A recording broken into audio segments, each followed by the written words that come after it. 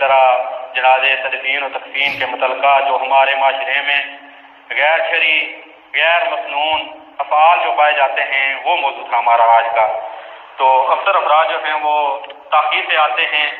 حالانکہ شریعت سیکھنے کا ہمارے پاس ایک ذریعہ ہوتا ہے، جمعہ۔ لیکن پھر بھی نہیں ہم احساس کرتے کہ شریعت کو اس جمعے میں بھی سیکھ لیا جائے، وقت پر آیا جائے۔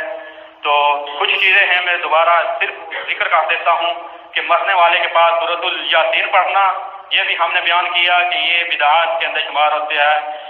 مرنے والے کے پاس پاس صورت الیاسین نہیں پڑھنی چاہیے۔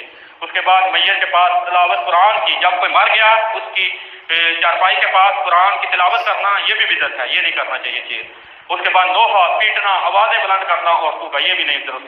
اور اسی طرح میت کے متعلقہ اظہار خیال جو ہے، پورا نہ اظہار کیا جائے۔ یعنی کہ میت جو مر چکی ہے، اگر پورا تھا تو بس خاموش رہیں۔ کچھ اچھائی ہے اس کی، تو اچھا معاملہ اس کا بیان کر دیا جائے اچھا تبصرہ کیا جائے، میت کے بارے میں برا نہ تبصرہ کیا جائے۔ مختصر یہ ہے۔ اس کے بعد جو ہے، میاں بیوی جو ہے ان میں سے کوئی فوت ہو جائے تو دونوں ایک دوسرے کے لیے اسی طرح حلال ہی رہتے ہیں۔ ایک دوسرے کو غسل بھی دے سکتے ہیں۔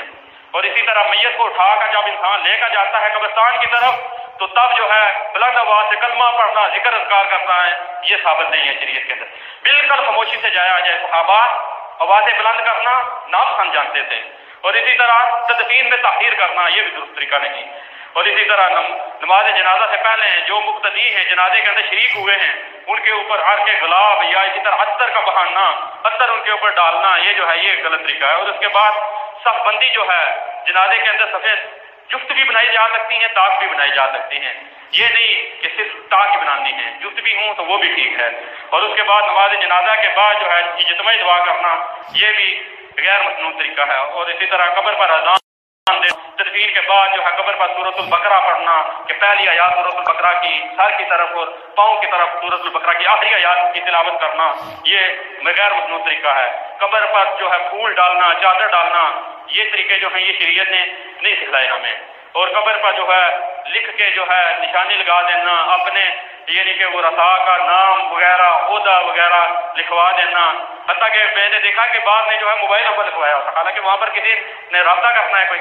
اور اس کے بعد جو تھا، تعزیت میں فاتح خانی کرنا اور تعزیت والوں کے گھر یعنی کہ جس گھر کے اندر فوتگی ہوئی ہے، وہاں پر کھانا کھانا جو ہے، یہ لوہا میں شمار ہوتا ہے۔